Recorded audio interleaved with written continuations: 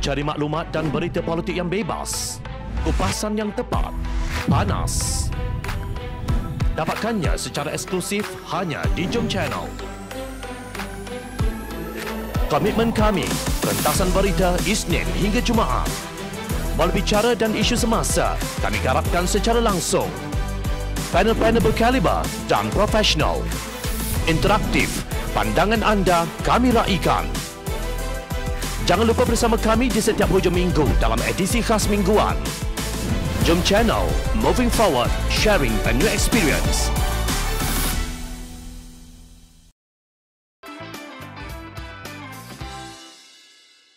Tolonglah, harga makanan naik bukan cerita dongeng.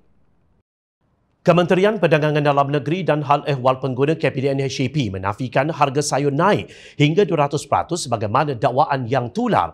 Namun selepas penafian tersebut, semakin banyak hantaran di media sosial yang menyatakan sebaliknya. Malah satu klip video pula muncul. Dalam klip video tersebut, seorang lelaki menyatakan bahawa harga kacang bendi dijual oleh pekebun cuma RM4 sekilogram. Tetapi harga runcit dikatakan RM12 sekilogram iaitu tiga kali ganda atau tiga 300%. Bender ni tuan-tuan, apa yang saya dapat tahu, saya sendiri tanya kepada uh, pekebun dekat sini, harga yang dijual eh, satu kilo bender ni, harga dia, sekejap saya dapat tadi, saya dah rekod, hilang pula. Harga dia 4 kilo. Eh, 4 kilo, tak apa, 4 ringgit, RM 4 ringgit untuk 1 kilo. Tetapi tuan-tuan boleh tengok, saya dapat laporan mengatakan harga dia cecah sampai RM12 sehingga ke RM17 tuan-tuan dan puan Walhal pekebun jual ni hanya RM4 sekilo saja tuan-tuan. Manakala harga timun pula hanya RM1. Tetapi harga runcit sebanyak RM4 iaitu 4 kali ganda atau 400%.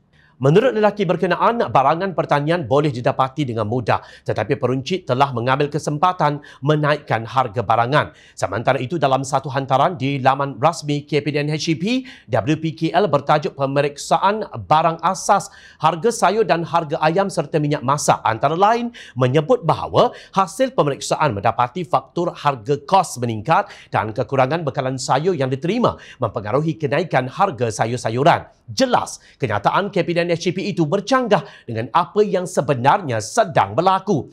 Sayuran berlambak tetapi harga mencanak naik. Justru persoalannya di sini, di mana masalahnya? Dalam satu hantaran lain, KPDN SCP pula menyebut jangan hanya rancak sahaja di media sosial jika tiada bukti yang lengkap hantaran ini seolah-olah menyalahkan rakyat yang mengadu menerusi media sosial. Mengulas mengenai hantaran tersebut, Ahli Parlimen Pulai Datuk Seri Salahuddin Ayub dengan tegas berkata, angkuh dan sombong pihak kementerian harus jakna turun padang dan bertindak secara efisien apabila aduan telah tular di media sosial. Bukan hanya tunggu bila ada aduan rasmi. Beberapa akhbar juga turut melaporkan bahawa peniaga mendakwa kenaikan harga barangan keperluan turut membabitkan tepung gandum, gula, beras, roti, minyak masak, bawang merah, bawang besar, ikan dan juga daging. Justru bukti apa lagi yang kementerian itu mahu? Dalam pada itu, Ahli Parlimen Lembah Pantai, Fahmi Fazil mencabar supaya menteri berkenaan meletakkan jawatannya kerana gagal mengawal kenaikan harga barang. Menteri Kabinet HEP iaitu Datuk Alexander Natalinggi, sementara timbalannya Datuk Rasul Wahid.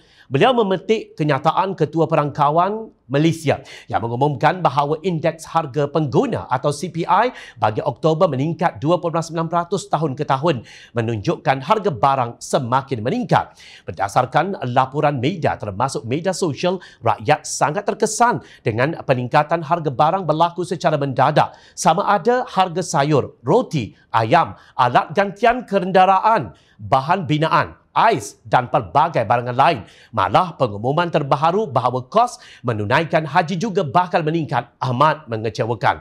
Sehingga kini kita cuma mendengar alasan demi alasan dan melihat tindak balas lembab menteri dan kerajaan. Ujar Fahmi. Menurut beliau, Menteri Kabinet HCP tidak prihatin terhadap kesusahan rakyat yang tertekan akibat kehilangan pekerjaan dan pendapatan.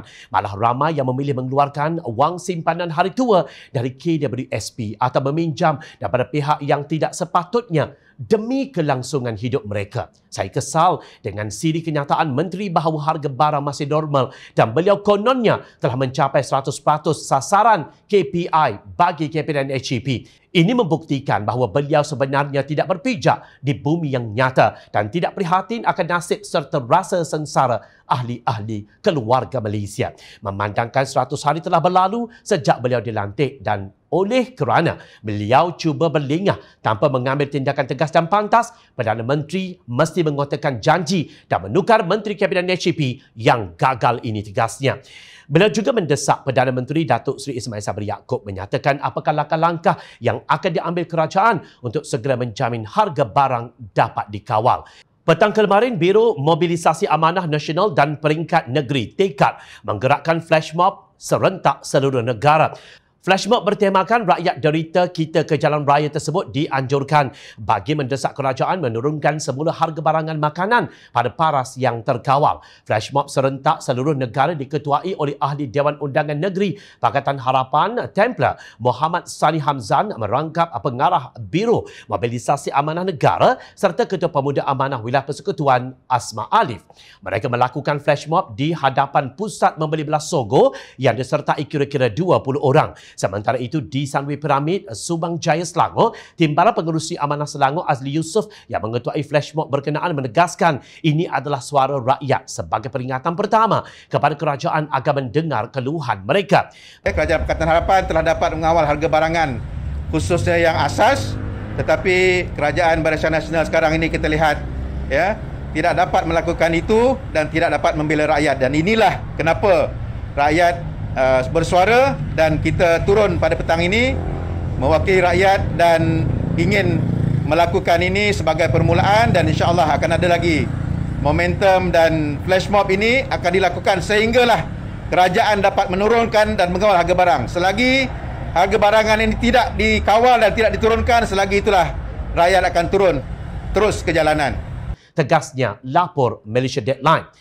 Janganlah jadi macam bangau, oh bangau. Peruncit salahkan bekalan yang didakwa kurang. Pekebun kata bekalan berlambak dan mudah didapati. Rakyat mahu penyelesaian sekarang. Bukan 9 Disember. Waktu Menteri hilang dari radar kerana adanya Perintah Kawalan Pergerakan PKP telah berlalu. Ingat, rakyat sentiasa memerhati